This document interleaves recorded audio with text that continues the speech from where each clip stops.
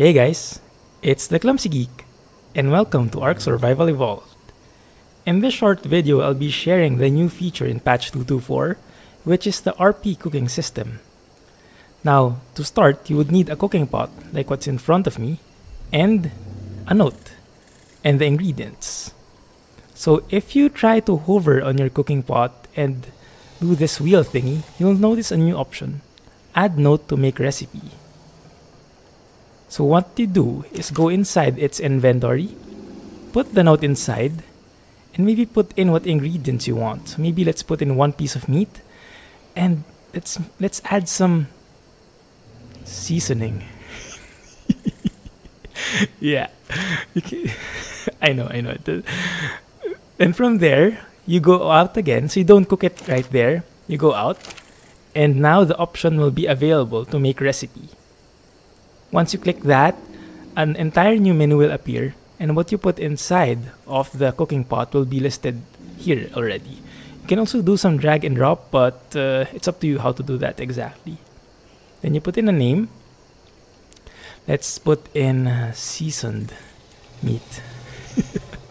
in description and salty but surely. and from here, you can choose. Oh, okay, so you can choose different icons even. okay, there are three available at the moment, and you can choose the color of each one. So let's let's make it a bit more realistic. Like that maybe and then make that this red? I don't know. Yeah but you get the concept.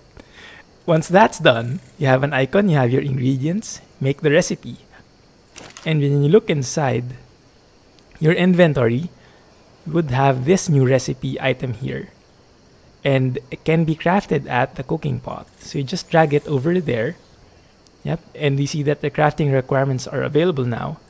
Light the fire, and you'll see that bar there. Wait for that to finish, and voila! We have our seasoned meat.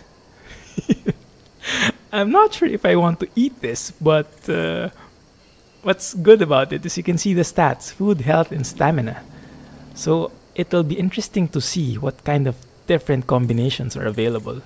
Anyway, yeah, that's uh, the basics of how to cook the new stuff now. So I guess the possibilities are endless. And as a matter of fact, I've been creating some recipes here, trying to do some drinks, trying to increase the number of meat and number of crap involved in the recipe, and the stats are improving a bit. But for sure, this is something that can be explored much, much further. So I, I hope you guys enjoyed. If you did like it, please give me a thumbs up and subscribe for more updates. And if you want, feel free to check my other Ark Survival Evolved videos. That's it for now, and thanks for watching. Bye-bye.